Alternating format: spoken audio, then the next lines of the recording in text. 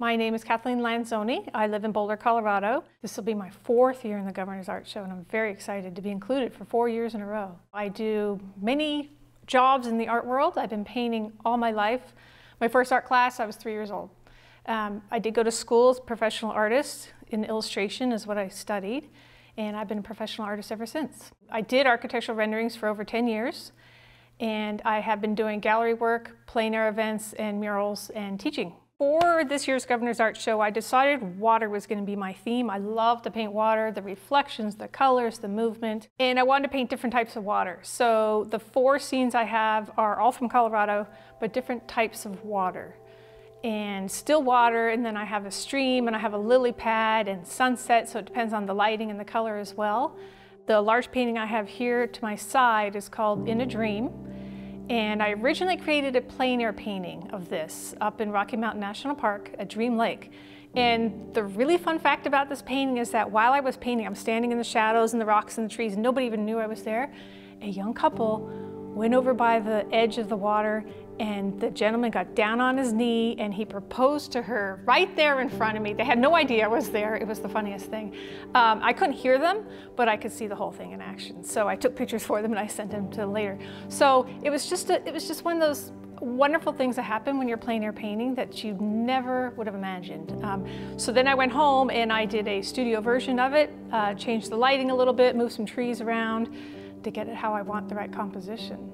So that was one of the great scenes. Um, otherwise, sunsets, I love the colors and it changes so fast. So again, did a plein air piece, very small, very fast, and then came home and painted it in the studio again. Um, I have another one called Lily Lake, and that is a, a smooth water surface with the lilies and the mountains in the background. And then the other large piece I have is called Cascading Falls, and it is a waterfall, and I really wanted to get the motion.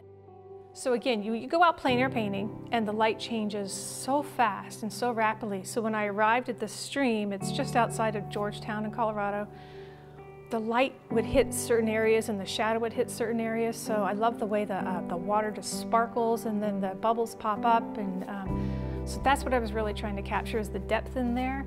And then the front is all in shadow. So I just, I just love the movement of the water and that's what I was capturing in that scene. I love being a Colorado artist.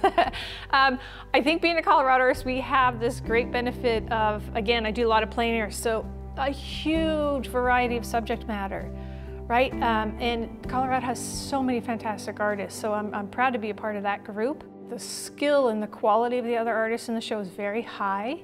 So I feel very honored to be a part of this group. It's a great event. Um, they, it's a beautiful gallery and it's a great organization so the money goes to the gallery, the artists, and for the school system. So I feel very honored to be a part of that and I enjoy being a part of it. We're thrilled that the, the Loveland Museum and Gallery is having the exhibit. Um, I'm excited to be able to help sponsor the Thompson Valley School System. And I encourage you to come if you could see the show online or come see the show in person and support all these great groups. Um, come see the artwork. Um, people have worked very hard and are excited and proud of what they've done, and we would love to share it with the public. So I hope you can come and see the show.